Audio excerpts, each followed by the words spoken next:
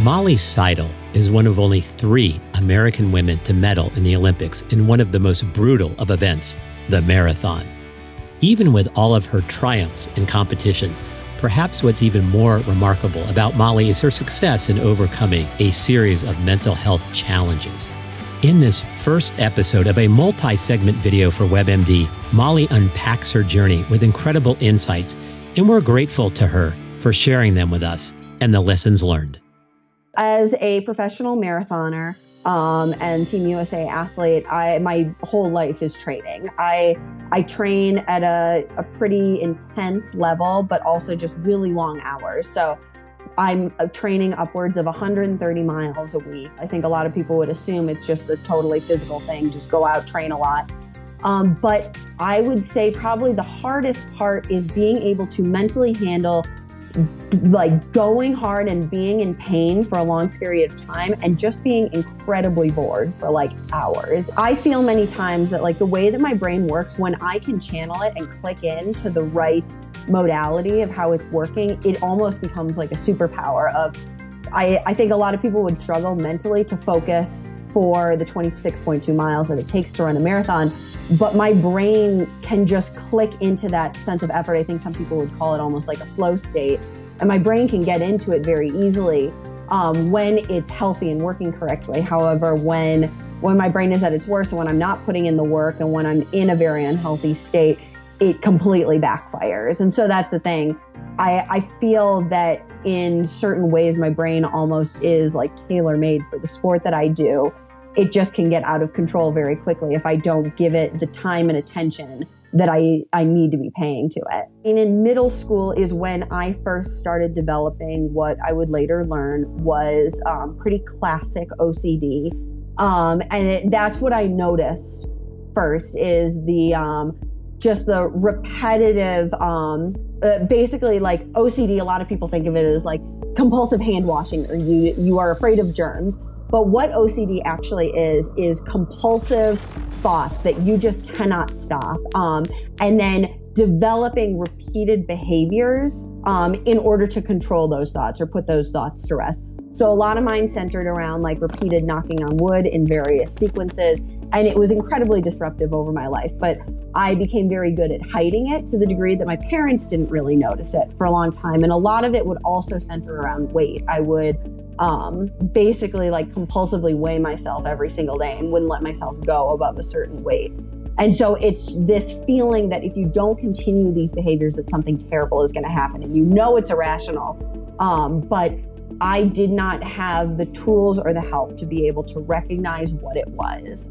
As I've now learned, how ADHD usually presents itself in women is you're typically perfectionist, high performing. Like I got very good grades. I wasn't disruptive or anything. I was just very hyperactive and I got that energy out through running. That's why running was able to focus me and why I was only able to do homework after I had run. Um, and so, and it makes all, it makes so much sense after the fact. It wasn't until I got to college and we had free therapy um, through our sports team and through the Notre Dame counseling system that I was like, hey, like, I think I need to go and see somebody about this. So I went in and was immediately diagnosed as like classic textbook OCD. It's just something that we've had to kind of learn, and my parents have been on this journey with me um, through the years of learning how to talk about that. Even when I like, I was the one who decided to check myself into eating disorder treatment, and that was a pretty tough thing for our family when I like talked about that because it's um, it's hard for any parent to see your kid going through that, and I think it's even harder when they realize like, oh, like we did not see this there was no recognition and awareness of that. Um, and frankly, it was really, really difficult. It was only when um, my second college coach came in, he came in my, my junior year, and I was just shown a lot more emotional intelligence. And he actually knew about what I was going through. And it was something that I felt comfortable enough to share with him because we had a very good relationship. Um, and so he was one of the factors of like talking with him of me knowing like, hey, I think I really need to go into eating disorder treatment because this is something we can't handle anymore. And kudos to him for being uh, for being able to say like, hey, this is something that I'm just not equipped to handle anymore. Like I know you've been dealing with bulimia, I know you've been dealing with anorexia, and I can't help this anymore. I think you need outside help. And that luckily has now blossomed. I think the openness of that relationship has made me recognize how important that is for me to have that relationship with my coach. As of right now, I am not currently taking any um, medication. I find that my body works best, especially in this sport, when I am doing a lot of work outside of just medication. Um, a lot of that comes down to like a lot of talk therapy, um, various somatic therapies, um, and then the big one for me is super regular, like meditation, mindfulness practice, breath work, um, because I I am like almost kind of like operate on a very like high strung, very um uh what like overstimulated level and I struggle with coming down and that's when I it almost is this sense of like spiraling um or like I really feel wound up and I just can't stop. And so being able to decompress, come down from that like use various breath techniques and various calming techniques has been absolutely vital for me. Um, and that's something that I have to do every day, multiple times a day, really, really monitor it. I'm very lucky in the sense that as a pro athlete, like recovery is a huge part of my job. And so I have time set aside in the middle of the day to lay down. And if I'm not napping, I'm just literally laying in bed, like focusing on my breathing for the better part of an hour um, in order to do that. And I've found that that is just enormously helpful for for what I do and for being able to manage not only just life but a higher like level of training. So I think being able to set aside a time every day to really practice it, but it's hard. It it has taken years.